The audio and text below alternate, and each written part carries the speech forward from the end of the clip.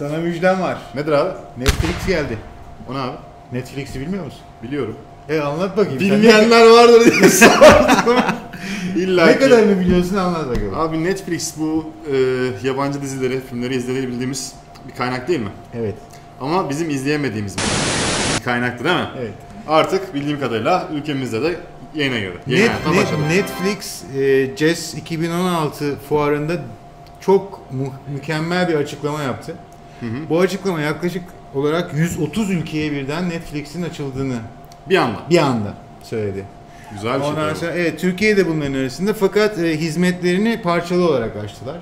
Yani orijinal net, net, Netflix birebir gelmedi Gel- Türkiye'ye. yani birebir gelmedi seçmişler bir sürü şeyi. Hani sonuç olarak şey yaptılar herhalde. Ülkede popüler olan e, dizileri, Büyük filmleri yavaş yavaş yayına vermişler. Geri kalan veri tabanında eminim ki e, ilerleyen zamanlarda bizim beynimize sunulacaktır. Ee, Netflix'in veri tabanında yaklaşık olarak e, 10 binin üzerinde film var.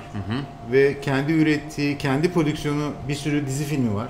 Aynen Türkiye'de öyle. de bunlardan bazıları çok tutulmuştu. Daredevil mesela. Aynen öyle. Ondan sonra Hatta benim Jessica izlediğim Jones. bir Marco Polo vardı. Hani Marco belki Polo vardı. biliniyorumdur o kadar bilmiyorum. Narcos vardı. Narcos var, aynen. Evet, çok güzel dizilerdi bunlar.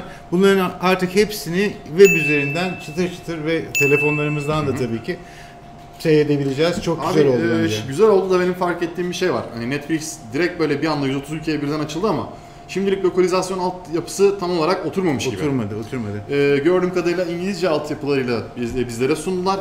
Hani şu an için altyapı e, şey altyapı diyorum. Altyazı Altyazı. desteği yok. Hani bu Evet. e, birçok kullanıcı için Türkiye'de e, büyük bir Dezavantaj dezavantaj olacak. Fakat ben bunda biraz hızlı davranacaklarını düşünüyorum. Çünkü Netflix'in Twitter sayfasında, onlar da hoş geldi bu arada. Çok güzel geldi, açılmış aynen. yeni sayfaları. Ondan sonra Netflix'in Twitter sayfasında ben bugün bir paylaşım gördüm. O da diyor ki yani geldik, hazırız. Aynen. Türkçe altyazılar içinde hızlı çalışıyoruz. Bunun da eksiğini hemen gidereceğiz gibisinden bir paylaşım Aynen öyle. Zaten bu noktada Netflix arkadaşlar ne bilmiyorsanız e, ücretli bir servis. Evet.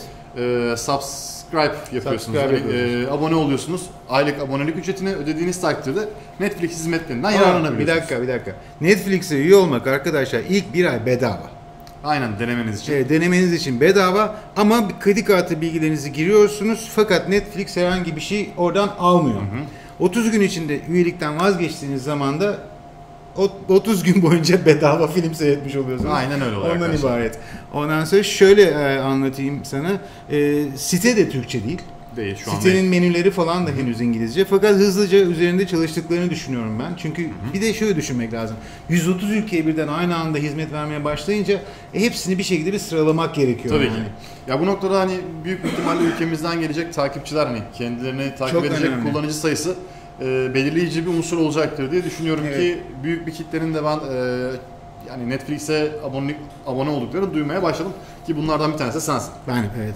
Ben ben biliyorsun sinema ve dizileri çok seviyorum. Ondan sonra fakat bir de ben şöyle bir şey okuyorum. İnsanlar Netflix'ten futbol yayınlarını satın almasını istiyorlar.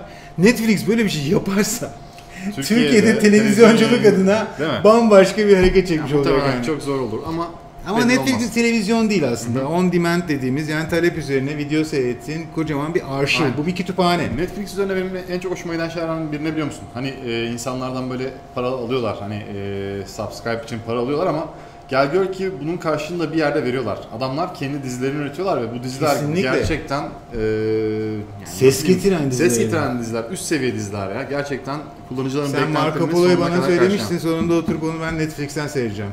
İzle abi mutlaka izle. Güzel dizi Ee, arkadaşlar. Netflix'in e, üyelik sistemi şöyle çalışıyor arkadaşlar. Netflix 7 euro, 9 euro ve 11 euro olarak 3'e bölmüş vaziyette hizmetlerini. Fakat bu hizmetlerin kademeli olmasının sebeplerinden bir tanesi seçeceğiniz ekran sayısının artmasıyla ve kalite yayının kalitesinin artmasıyla Aynen. alakalı olan bir şey. İşte tek ekran için var. Tek ekran artı HD var. iki ekran artı HD var. Ve e, mobil telefonlar ve bütün ekranlar şeklinde falan şey var. Diye farklı. Baktığın zaman aslında bana e, 7 7 euro çok da pahalı gelmiyor. Verdiği hizmete dayanarak Aynen. söylüyorum. Ondan sonra fakat tabii kotalı arkadaşlar için küçük bir sorun olacaktır. Aynen HD yayınları izliyorsanız eğer ki ve de adil kullanım e, kotasına takılırsanız bir yerden sonra HD izlemekten vazgeçmek durumunda kalacaksınız. Çünkü muhtemelen internet hızınız desteklemeyecek adil kullanım kotasını bitirdikten sonra. Fakat Netflix'in gelmesiyle beraber belki bir parça da internet hızlarımız artar mı acaba ya? Artmaz abi ya. Bugüne kadar artmadı. İnternet hızları arttı aslında Türkiye'de de. Ee, insanlar genelde şey takılıyor artık. Adil kullanım kotası denen bir şey var. O adil kullanım kotasını doldurduğunuz zaman internet hızın zaten istemsiz olarak düşüyor. Ve bu noktada yapacak bir şey kalmıyor. Evet, evet, evet. Yani durum böyle. Ben çok sevindim.